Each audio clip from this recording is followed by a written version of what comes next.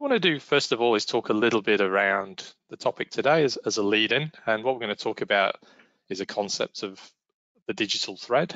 So really the digital thread is around this idea that within any given organization, we have different departments and depending on the company, you might have different departments, but in a typical sort of manufacturing organization, you might have an engineering department that does design and development.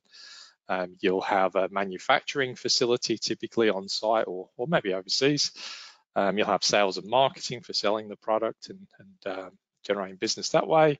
There'll be customer operations. You maybe have a service business, and then obviously you've got your management team, uh, etc. And uh, typically, uh, each of those environments and departments um, use information. They maybe create information, and they maybe want to share information. And really, today, what we're going to look at is how we can use a digital thread, a digital connection between those departments so that people can share um, based on their role, the right information at the right time. Uh, today's focus will be really sharing information from engineering to the rest of the organization, uh, but you can use this technology to share other information back upstream as well. So the flow of the digital thread can be both um, downstream and upstream.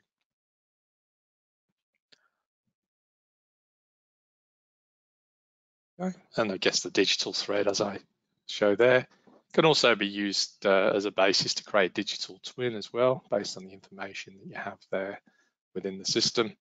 And typically with a digital thread, the backbone of that is often a PLM system. Uh, in our case, we have Windchill as our PLM system, and that's what we're going to demonstrate today.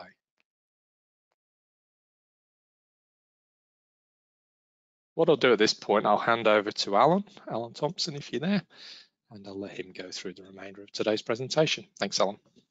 Thanks, Paul. Hi, everybody. So uh, at a very high level, a PLM system, what it's about.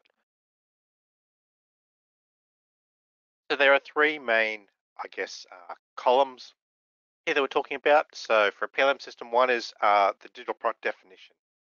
That's designed to manage uh, all of that digital content that you create uh, that describes your products.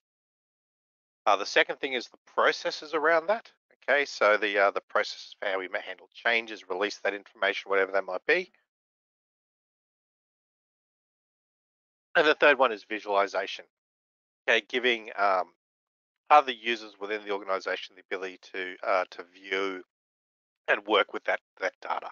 Okay, and that's a really important part of uh, the PLM system and the and the whole environment is because you know within that organization we've got all these different groups who are creating their own information, but then there are plenty of others within the organization that need to uh, to see that information, to use that in some way. And that that presents challenges, okay?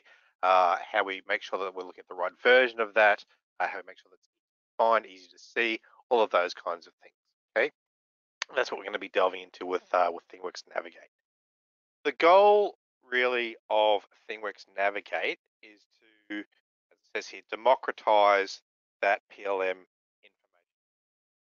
Okay, so you know we've got Windchill as our PLM system. We're managing all of that content and those processes, and we've got our sort of primary PLM users, right? So these are the people who are in there, maybe all day, every day, or very regularly doing all of their work, managing their information processes around. Okay, but then we've got all of our extended PLM participants.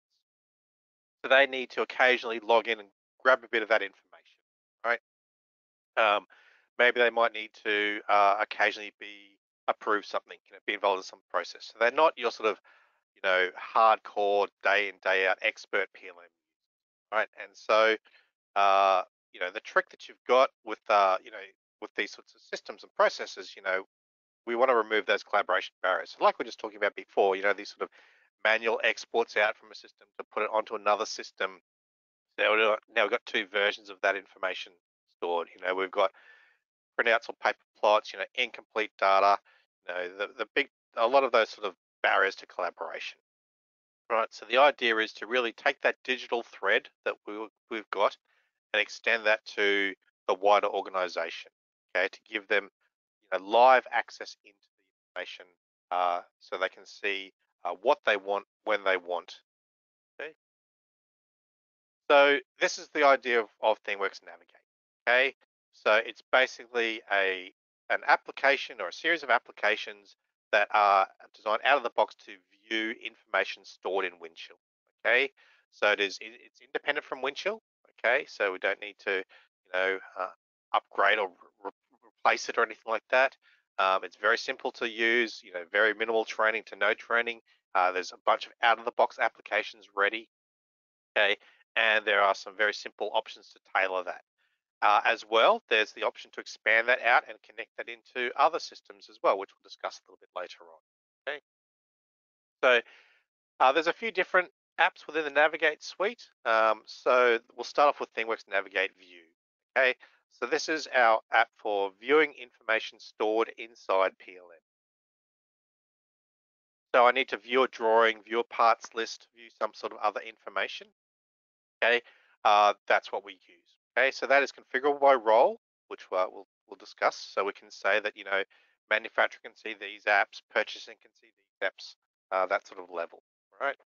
So the idea is that, yeah, sorry, jumping ahead of myself. Uh, so the idea is that, you know, we can configure this role specific behavior. So you might have uh, people in production need to, to log into view information, but they just need to maybe grab a drawing, view design files. Okay, so we can pre-filter that you know, things setting up, it uses the standard Windchill access controls, so they can only be seeing release stuff, all that kind of, all that kind of information. Okay, uh, we might say they can only view PDF formats, um, but then someone in purchasing, they might need to see more information, right? They might need to see uh, particular part properties, they might need to see documents, they might need to see a part structure, and then we can also add other information. So maybe uh, they might need to see supplier information, you know, make buy columns, things like that. Okay quantities in stock and on order. We can also, uh, which I'll, again, I'll discuss a bit later on, expand that out to connect to our ERP systems as well. Okay.